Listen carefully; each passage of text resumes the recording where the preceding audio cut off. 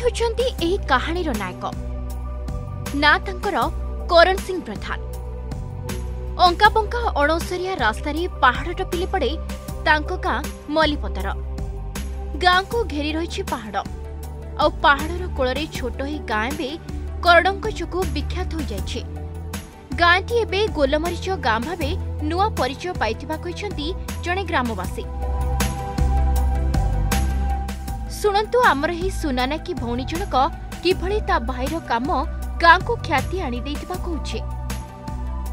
ଆମ ଗାଁ ବହୁତ ଛୋଟ ଗାଁ କିନ୍ତୁ ଏଇ ଗାଁରେ ତ ଗୋଲମରିଚ ଚାଷ କରୁଛନ୍ତି ଆମ ଭାଇନା କର୍ଣ୍ଣ ମଲ୍ଲିକ। ତା ବହୁତ ଛୋଟିଆ ଗାଁ ହେଲେ ମଧ୍ୟ ଗୋଲମରିଚ ଚାଷ ଦେଖିବା ପାଇଁ ବହୁତ ଲୋକ ଆସନ୍ତି। ଗଜପତି ଜିଲ୍ଲାର ମଲ୍ଲିପଦର ଗ୍ରାମ କହିଲେ ଗୋଲମରିଚର ଆଉ ବହୁତ ପ୍ରସିଦ୍ଧ। ବିନା ଟ୍ରେନିଂରେ ଯଦି ଏତିକି କରିପାରୁଛନ୍ତି ଯଦି ଟ୍ରେନିଂ ଦେଲେ ତ ତାଙ୍କେ ବି କରିପାରିବେ ଆମେ ଗାଁ ଲୋକ ବି କରିପାରୁ କେରଳ ଓ କର୍ଣ୍ଣାଟକର କଫି ଓ ଗୋଲମରିଚ ବଗିଚାର ଭ୍ରମ ସୃଷ୍ଟି କରୁଥିବା ଏହି ଜଙ୍ଗଲ ହେଉଛି ଗଜପତି ଜିଲ୍ଲା ମୋହନା ମଲ୍ଲିପଦର ଜଙ୍ଗଲର। ଘଞ୍ଚ ଶାଳ ଜଙ୍ଗଲକୁ ନିଆଁ ଓ ମାଫିଆମାନଙ୍କଠାରୁ ରକ୍ଷା କରିବା ପାଇଁ କର୍ଣ୍ଣଙ୍କ ପିତା ଜଙ୍ଗଲ ସୁରକ୍ଷା ସହ ଜୀବିକାକୁ ଯୋଡ଼ିବାର ଏକ ନିଆରା ଧାରା ଆରମ୍ଭ କରିଥିଲେ। ପ୍ରତିଟି ଶାଳ ପିଆଶାଳ ଗଛମୂଳେ ଲଗାଇଥିଲେ ଗୋଲମରିଚର ଆରୋହୀ ଲତା ପିତାଙ୍କ ଅନୁଗାମୀ ହୋଇ ଏହି ଗୋଲମରିଚ ଲତାକୁ ଏମିତି ସୁନ୍ଦର ଭାବେ ଗଛରେ ମଡ଼ାଇଛନ୍ତି ଆମ କାହାଣୀର ରିଅଲ ହିରୋ କରଣ ସିଂ। ପଇଁତିରିଶ ଏକର ଜଙ୍ଗଲରେ ମାଡ଼ିଛି ଏହି ସବୁଜ ଲତା। ଜଙ୍ଗଲ ଭିତରେ ବୁଲି ବୁଲି କରଣ ଗଛ ଓ ଲତାଗୁଡ଼ିକର ଯତ୍ନ ନିଅନ୍ତି। କେବେ ଗଛ ମୂଳରୁ ଝଡ଼ା ପତ୍ର ସଫା କରିଦିଅନ୍ତି ତ କେବେ ସବୁଜ ଦଳରେ ଲଟକିଥିବା ଶୁଖିଲା ଡାଳକୁ ଅଲଗା କରିଦିଅନ୍ତି। ଯତ୍ନ ପାଇବାରୁ ଗଛ ବି ଦେଇଛି ନେନ୍ଥା ନେନ୍ଥା ଫଳ। ପ୍ରଥମେ ସବୁଜ ପରେ ଲାଲ ଓ ଶେଷରେ କଳା ରଙ୍ଗର ଏହି ଫଳ କରଣ ସିଂଙ୍କୁ ଖାଦ୍ୟ ଓ ଖର୍ଚ୍ଚ ଯୋଗାଇଛି। ସେ କହନ୍ତି ଏହା ମୋ ବାପାଙ୍କ ଗୌରବ। ଏଭଳି ଉପାୟରେ ଜଙ୍ଗଲକୁ ବଞ୍ଚାଇଛି ଓ କ୍ୱିଣ୍ଟାଲ କ୍ୱିଣ୍ଟାଲ ଅମଳ ଦେଉଛି। ସରକାରୀ ସହାୟତା ମିଳିଲେ ଆଉ ଟିକେ ଭଲ ହୁଅନ୍ତା ବୋଲି ସେ କହନ୍ତି। ଏଇଟା ତ ବାପା ଲଗି ଆସିଥିଲେ ସେମାନେ ତାଙ୍କର ସ୍ମୃତି ମୁଁ ମଧ୍ୟ ଏବେ ଚାଷ କରି ଆସୁଛି। ଇଏ ଗଛ ଇଏ କରିକି। ଆଉ ବହୁତ ମୋ ନିଜକୁ ମାନେ ମୋ ପାଇଁ ନାହିଁ ମୋ ବାପାଙ୍କୁ ମୁଁ ଗୌରବ ବୋଲି ଭାବୁଛି। ଜଙ୍ଗଲ ଆମର ଜୀବନ ଜଙ୍ଗଲ ହିଁ ଆମକୁ ଆମେ ଜଙ୍ଗଲ ଦେଖିଲେ ଆମକୁ ଖୁସି ଲାଗୁଛି। ଜଙ୍ଗଲ ସୁରକ୍ଷା ଆମର କର୍ତ୍ତବ୍ୟ। ଆଉ ସେଥିପାଇଁ ଦେଖିଲୁ ଗଛ ଲଗାଇଲେ କୌଣସି ଆଉ ପୋଡ଼ ଚାଷ ହେଇପାରୁନି।